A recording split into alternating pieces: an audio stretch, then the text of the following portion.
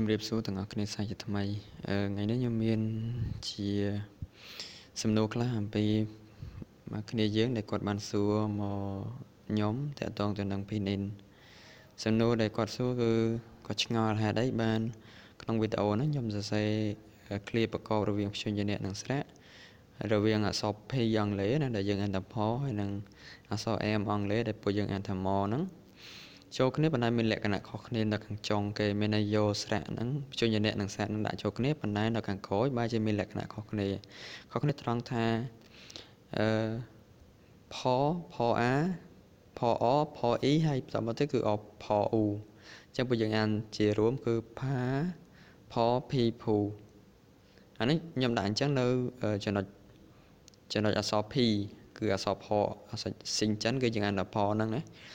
ហើយដល់ពេលអក្សរ M អឺដែលចិនយើងអាចថាមកហ្នឹងខ្ញុំបែរជាដាក់ថាមកអាឬក៏យើងអានសរួមថាម៉ាមកមើមីមូមានន័យថាវាលើសគ្នាលើសគ្នាមួយលើសគ្នាអក្សរ ME ហ្នឹងលើសគ្នាអញ្ចឹងហើយគាត់សួរថាហេតុអីបានវាមានលក្ខណៈអញ្ចឹងខ្ញុំធ្លាប់បានប្រាប់ម្ដងហើយថាអឺ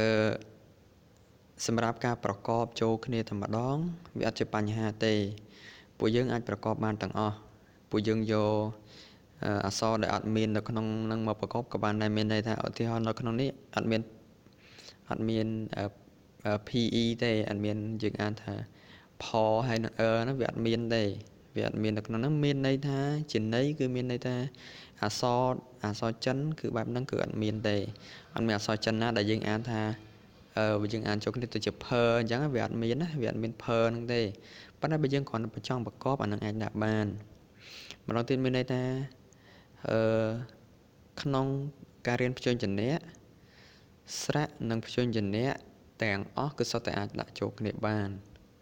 ដាក់បានក្នុងន័យយើងអានណាយើងរៀនអានអានឹងយើងដាក់បានប៉ុន្តែក្នុងន័យថាឲ្យអក្សរដែលយើងអានគឺសុទ្ធតែមានជាភាសាចិនតែម្ដងវាអត់ អញ្ចឹងហើយបានជាខ្ញុំដាក់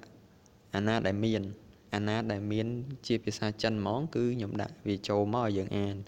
ប៉ុន្តែអាខ្លះវាអត់មានទេវាអត់មានអក្សរចិននៅក្នុងហ្នឹងទេអញ្ចឹងបានខ្ញុំអត់ដាក់ដោយអក្សរ PE ហ្នឹងវាអត់មានវាអត់មានអក្សរចិនណាដែលយើងអានថា per ហ្នឹងវាអត់មានទេប៉ុន្តែដល់ពេល M អក្សរ ME វាមានដែលយើងអានថា mer ហ្នឹង summer mer mer ME ហ្នឹងវាមានអញ្ចឹងហើយបានខ្ញុំដាក់ចាំមកអញ្ចឹងជាបញ្ហាដែលយើងត្រូវចាំគឺថា បើវាមានអានឹងយើងដាក់ខ្ញុំដាក់មកប៉ុន្តែបើអត់ទេអានឹងវាអត់អញ្ចឹងតើយើងចាំអញ្ចឹងអញ្ចឹងសរុបសេចក្តីមកថាអឺភ្ជញ្ជនៈនិងស្រៈទាំងអស់ក៏សុទ្ធតែអាចដាក់ចូលគ្នាបានប៉ុន្តែជាបញ្ហាមួយដែលយើងត្រូវចាំគឺថាมันប្រកាសថាគ្រប់ពាក្យគ្រប់អីដែលយើងដាក់ចេញមកគឺសុទ្ធតែវាមាននៅក្នុងភាសាចិនហើយខ្ញុំដែលដាក់ចេញមកហ្នឹងគឺខ្ញុំដាក់សម្រូវថាបើមានបានខ្ញុំដាក់បើអត់មានគឺខ្ញុំអត់ដាក់ទេហើយ អឺវីដេអូបកស្រាយហ្នឹងគឺនៅវីដេអូទី8គឺមានបញ្ចប់គឺ summary ហ្នឹងគឺខ្ញុំមានបង្ហាញថាតារាងវាតើវាតារាងវាយ៉ាងម៉េច